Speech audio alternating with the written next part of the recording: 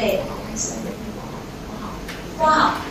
Và những tạp chí về có chỉ số ISCI là những tạp chí về khoa học xã hội. Không phải SSCI không phải là tạp chí nào cũng có được một trong hai chỉ số này. So when you even you talk about publishing in an international journal, cho nên là kể cả khi bạn có một bài được xuất bản trên tạp chí quốc tế not every international journal is in SSCI. Talk about social science. Not ví every social ví science. dụ trong lĩnh vực khoa học xã hội không phải tạp chí quốc tế nào cũng được xếp hạng trong bảng à, với chỉ số SSCI So that's some kind of technical. và cái này nói về các kỹ thuật về à, There was a Chỉ số question, question over here. Thưa giáo sư, à, để đạt được cái mức à, về nghiên cứu khoa học ở tầm là khu vực thôi thì à, một cái giảng viên của trường đại học của Việt Nam cần phải dành bao nhiêu thời gian so với quỹ thời gian làm việc của họ? Vì đi thực trạng ở Việt Nam đi giảng nhiều hơn nghiên cứu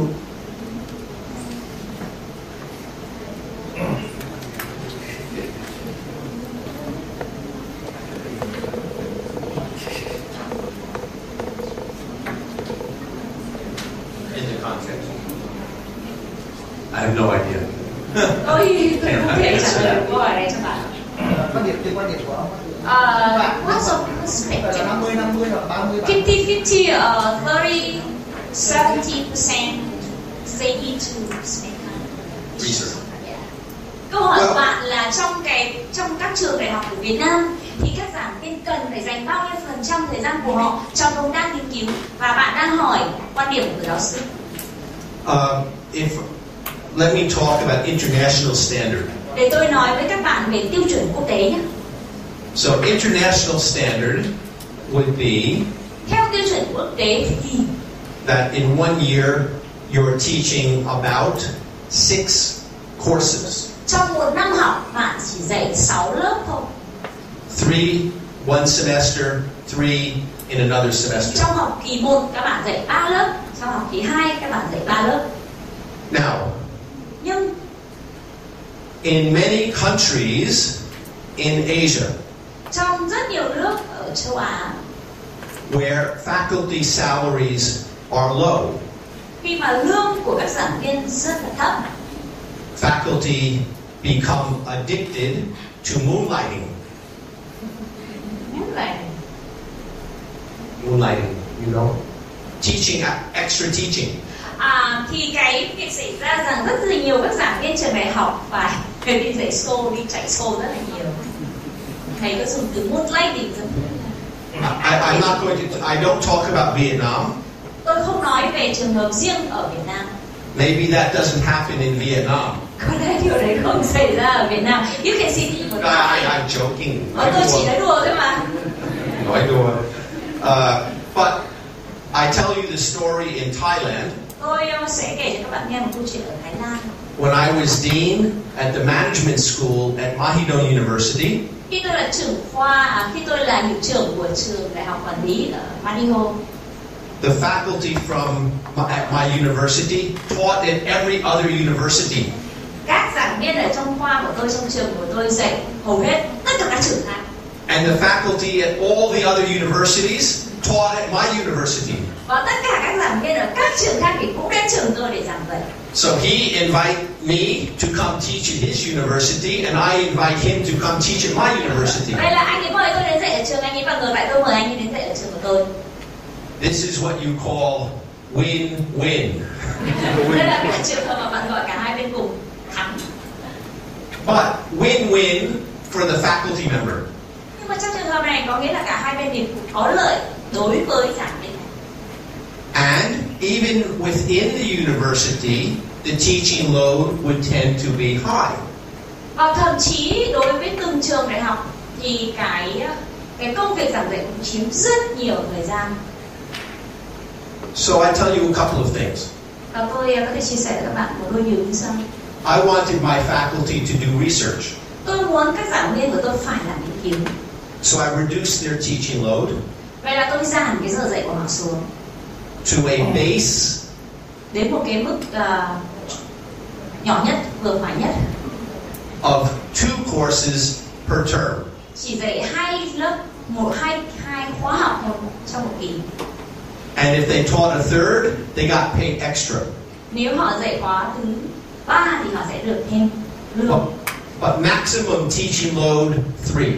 Nhưng mà cao nhất là họ chỉ có thể dạy ba khóa học thôi But we teach all year round, three terms. và tôi dự trong à, và trong trường của chúng tôi thì chúng tôi có ba kỳ học So they had nine như vậy classes to trong một teach. năm học thì họ có Maximum, lớp maximum. đấy là số cao nhất mà họ có thể dạy được trong năm But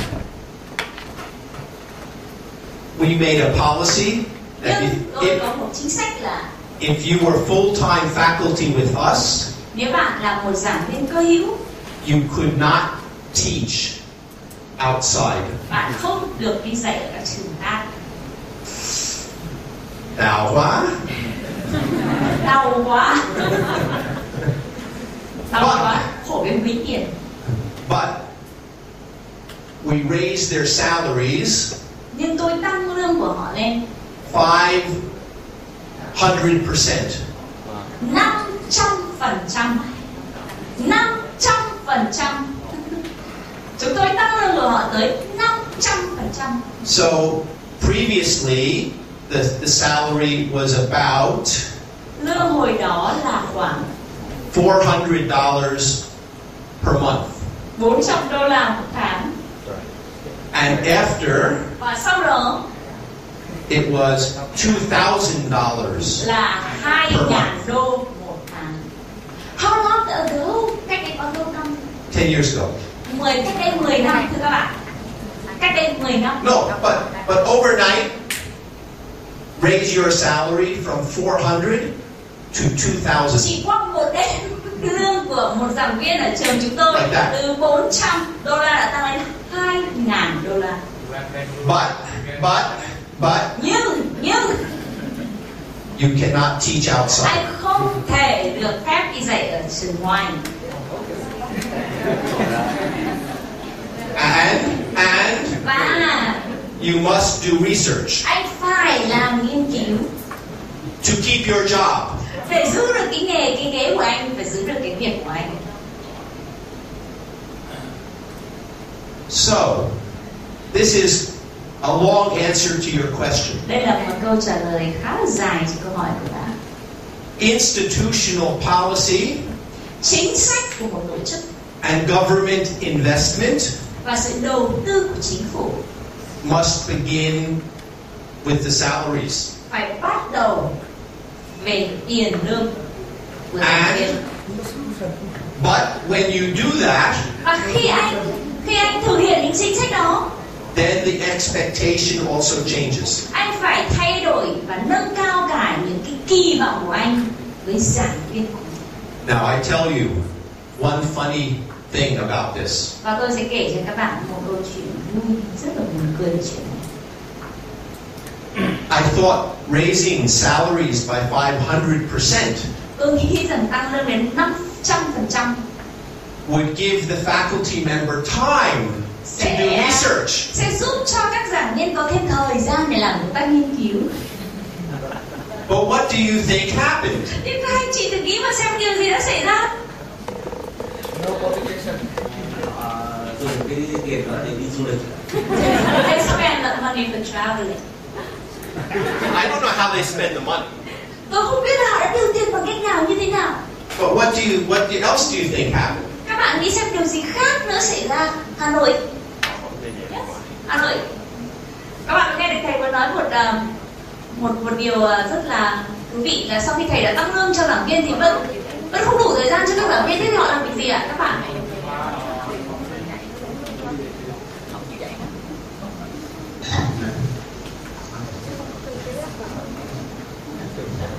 I can tell you the answer.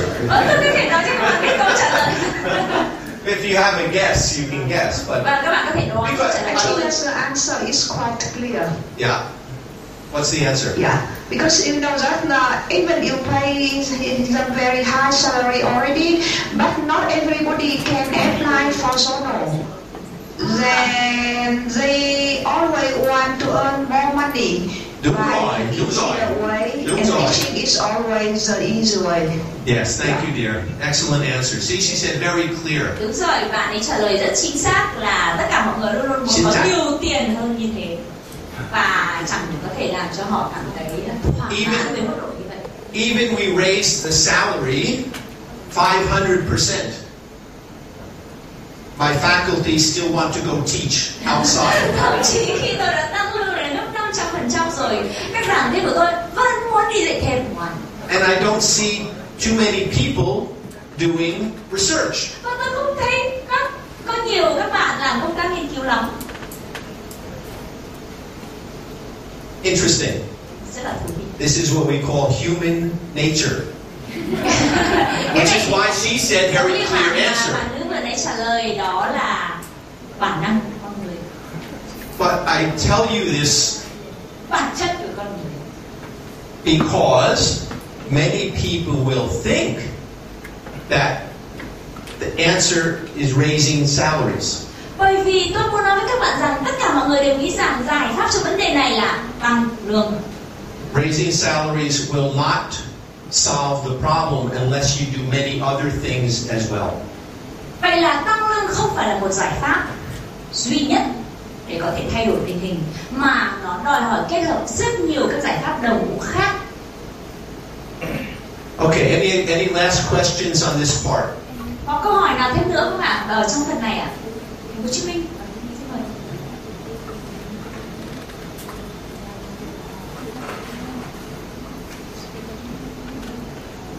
À, kính thưa giáo sư và xin chào tất cả các anh chị thì tôi cũng rất là tâm đắc với phần trình bày của giáo sư qua những cái ờ, ờ, ngoài và những cái thực tế những cái câu chuyện mà giáo sư đã áp dụng để nâng cao cái à, vấn đề nghiên cứu khoa học thì à, tôi biết có một trường đại học ở Indonesia à, và cái trường này là đi à, theo cái mô hình là hợp tác quốc tế để phát triển thì với một cái mức lương rất là cao thì thầy hiệu trưởng sẽ yêu cầu là tất cả các giảng viên trong một năm phải ít nhất là có một cái bài báo được trình bày ở nước ngoài thì theo giáo sư là nhà trường sẽ là chi toàn bộ kinh phí để cho các giảng viên đó để tiền vé máy bay vân vân ăn ở trong thời gian mà ờ, các giảng viên này là trình bày cái hội thảo đó thì theo giáo sư thì đây có thể xem như là một cái biện pháp hữu hiệu để cho cái ờ, các trường đại học ở Việt Nam để ứng dụng để nâng cao cái chất lượng nghiên cứu cũng như là các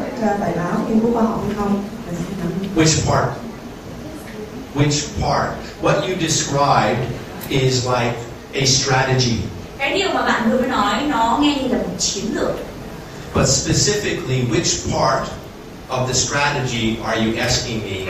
Is this good for Vietnam to follow? nhưng cái phần nào trong cái chiến lược này bạn hỏi tôi mà theo bạn nó có thể có ích lợi trong cái việc áp dụng vào Việt Nam tại vì ờ, giáo sư cũng trình bày là cái bối cảnh Việt Nam với lại các quốc gia các trường đại học khác ở ờ, đông ờ, ở Đông Á.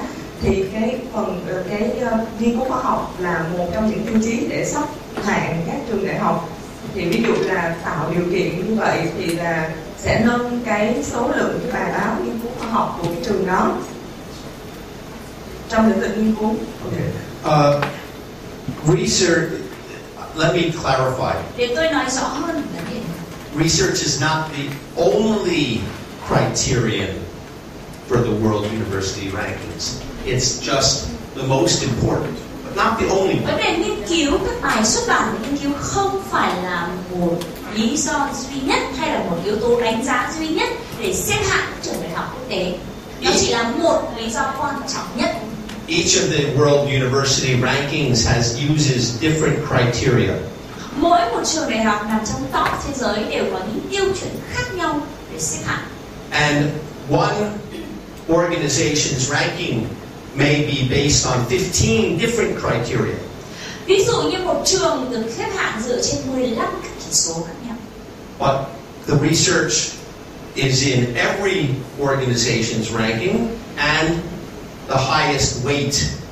nhưng cái chỉ số về nghiên cứu là một trong những chỉ tiêu mà hầu hết tất cả các trường đều dùng trong các bảng xếp hạng của mình và nó được tính được nhiều nhất trong bảng xếp hạng if you ask me about strat- strategy, I don't really know the detail about that particular university. nếu bạn hỏi tôi về cái chiến lược cho sự phát triển thì à, thực sự là tôi không biết rõ lắm về cái trường đại học mà bạn nói So I may not be able to answer your question clearly. tôi có thể không trả lời câu hỏi của bạn một cách Vâng. lắm But if you ask, but I can say this nhưng tôi có thể nói điều này university collaboration with another international university is a good strategy.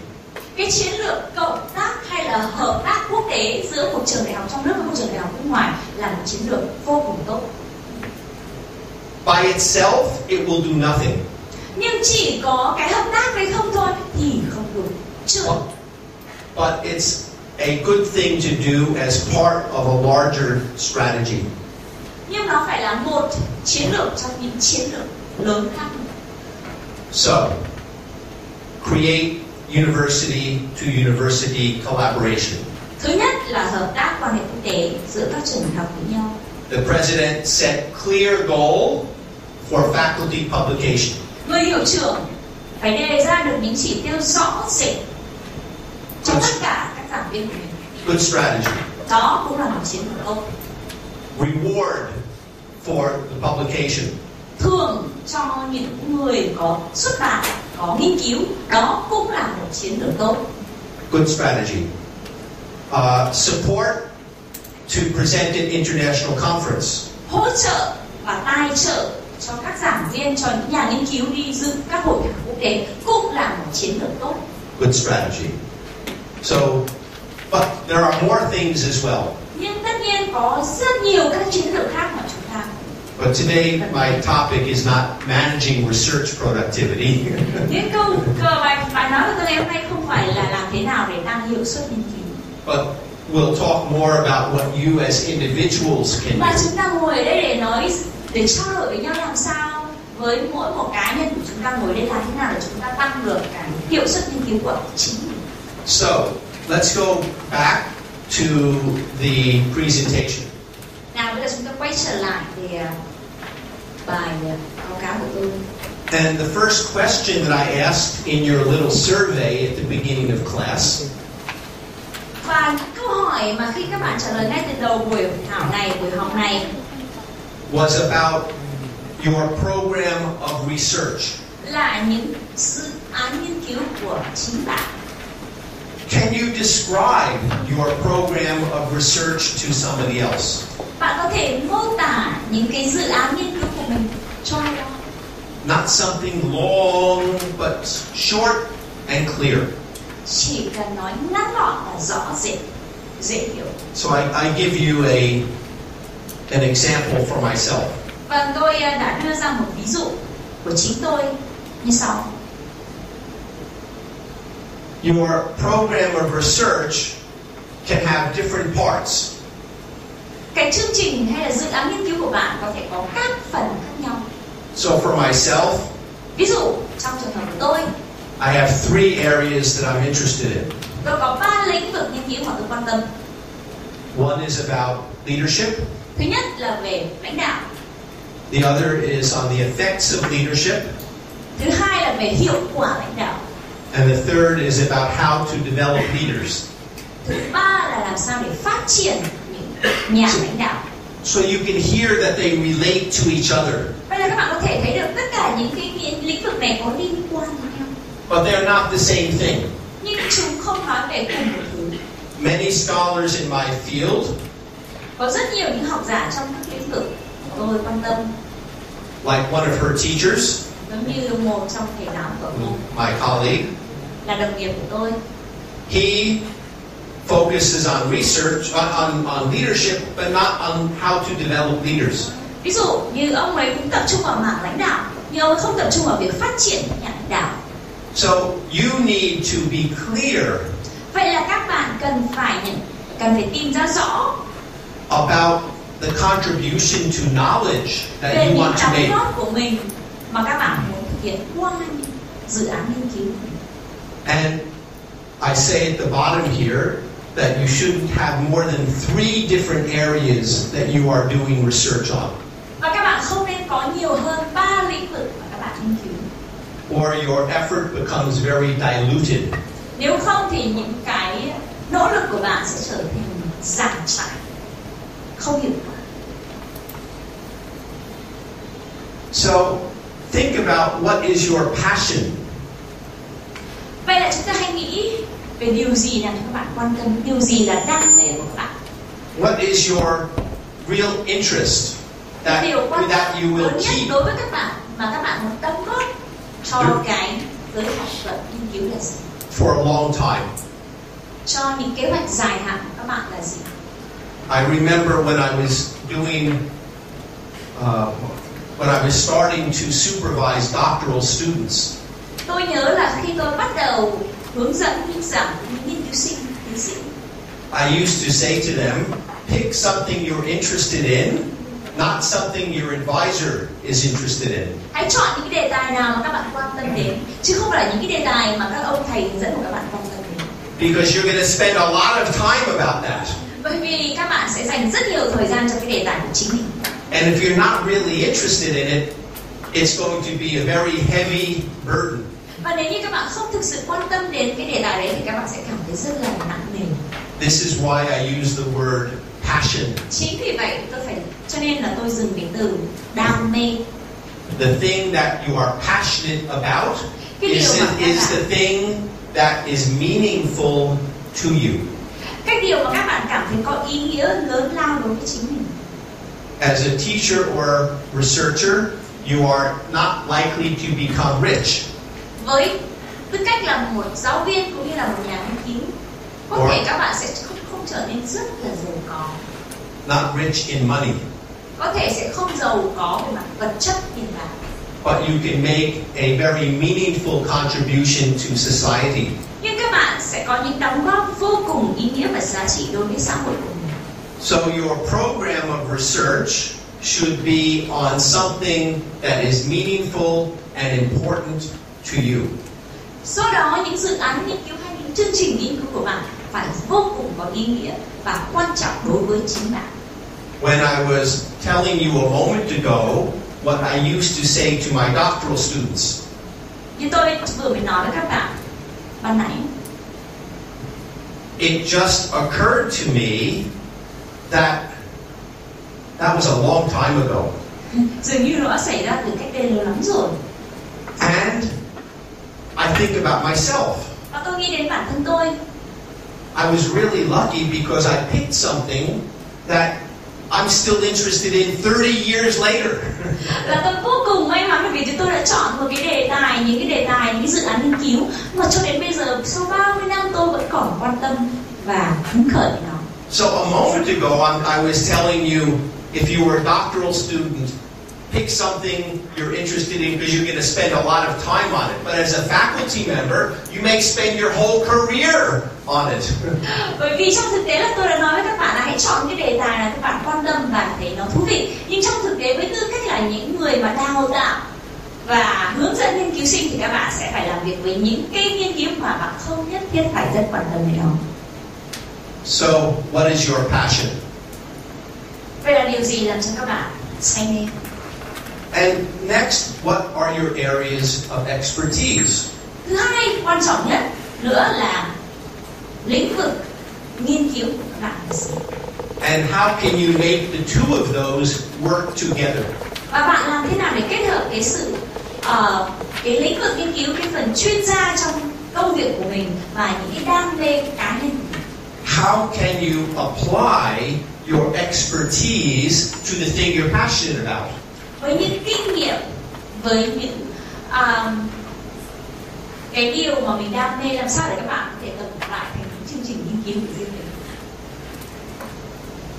And people are interested in so many different things.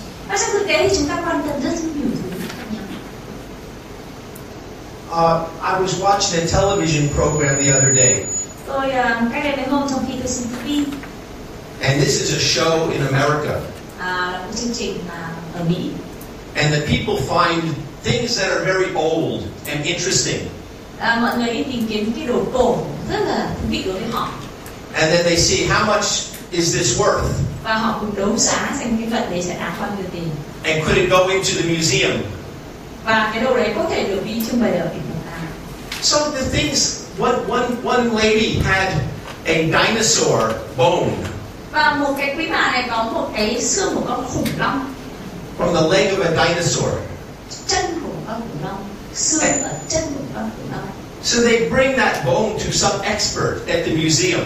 vậy là họ đem cái xương đấy đến hỏi một chuyên gia ở một cái viện bảo tàng And this guy spends all of his life with dinosaur bones. và cái anh chàng này thì dành cả cuộc đời để nghiên cứu về xương của con khủng long or they find something. I, well, so my point is simply people have so many different interests. cái điều mà tôi muốn nhấn mạnh là mỗi người đều có những cái sở thích những quan tâm vô cùng khác nhau và phong phú And people become expert in different areas. và và mọi người trở thành chuyên gia trong cái lĩnh vực mà người ta say mê.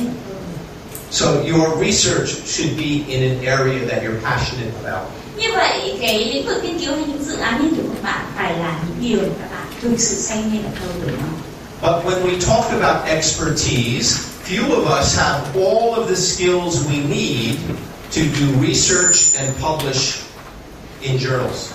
nhưng trong thực tế khi chúng ta nói về à, lĩnh vực à, chuyên gia của một cá nhân thì rất ít người trong số chúng ta có tất cả những kỹ năng những cái kiến thức đầy đủ để có thể xuất bản thành công một cái dự án nghiên cứu của mình So you need to think about, in relation to research, what are your areas of expertise?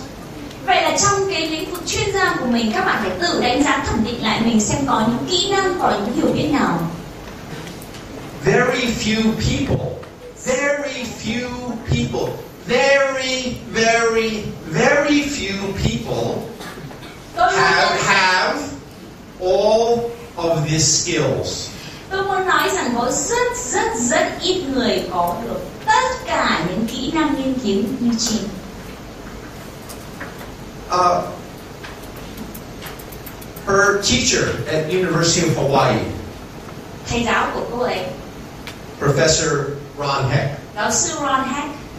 He is brilliant statistician. ông ấy là một cái nhà à,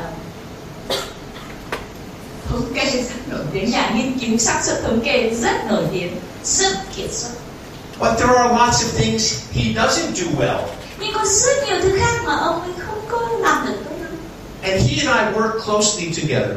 và ông ấy với tôi cũng cùng làm việc với nhau rất là mật thiết And I so admire him và tôi ngưỡng mộ ông ấy vô cùng because he has so much knowledge that I don't have.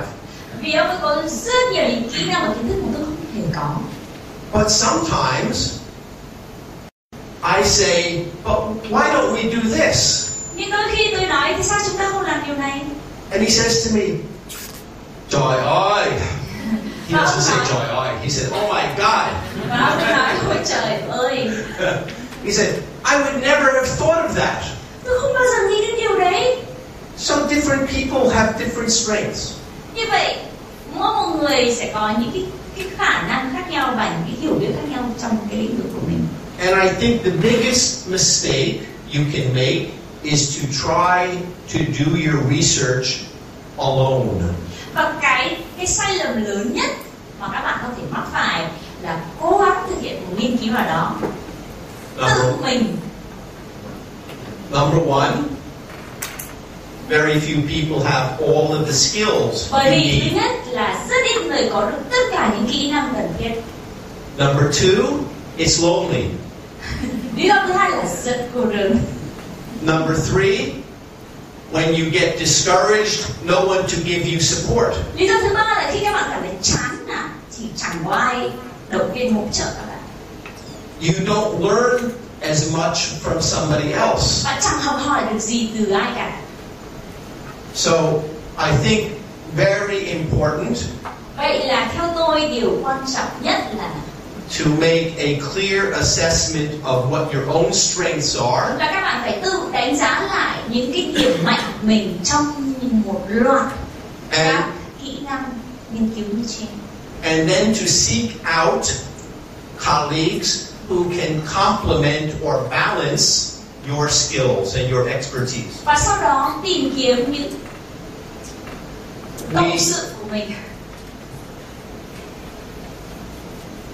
I, and increasingly in my own career, I encourage my junior colleagues to work collaboratively, not alone. Trong thực tế thì tôi luôn luôn khuyến khích các bạn đồng nghiệp trẻ của tôi cùng cộng tác làm việc với các đồng nghiệp khác. So I, if I look at myself, ví dụ như thế này nếu như tôi tự đánh giá bản thân đây là những phần liệt kê về cá nhân về những quan tâm của tôi về những điểm mạnh của cá nhân tôi như sau I know my strengths. tôi biết được những điểm mạnh của tôi And so, in my career, I've collaborated with different people. vậy là trong sự nghiệp của tôi thì tôi có các cộng sự như sau And my colleagues or my collaborators had complementary strengths. và những người cộng sự của tôi những người đồng nghiệp của tôi giúp tôi hoàn thiện những kỹ năng mà tôi có và làm mạnh hơn những kỹ năng mà tôi còn biết thiếu When I worked with my friend Ken, khi tôi làm việc với người bạn của tôi Ken Lewis I always admired him because I think he is so good about theory. tôi luôn luôn ngưỡng mộ anh ấy bởi vì anh ấy là một người vô cùng xuất chúng về mặt lý He understands the theory much better than me. anh ấy hiểu về lý luận lý thuyết tốt hơn tôi rất là nhiều So I learned from him. vậy là tôi học hỏi từ anh ấy And then when I worked with Professor Heck, khi tôi làm việc với giáo sư Heck Von Heck he thinks I'm really good at theory. anh ấy bảo là tôi rất là tốt về về mặt lý lý thuyết And I am, vâng thực tế tôi tốt because I learned from Ken. bởi vì tôi đã học từ anh Ken So, so this is how it works in your career. và đây là cái điều mà giúp cho chúng ta cũng trở nên à, chuyên gia trong lĩnh vực chúng ta qua để chúng ta cộng tác với các đồng nghiệp của mình So first you have to look in the mirror and ask yourself clearly what are my strengths? What can I do well? vậy là điều đầu tiên chúng ta hãy nhìn mình trong gương và tự hỏi điểm mạnh của tôi là gì You may be a really good researcher, but not such a good writer.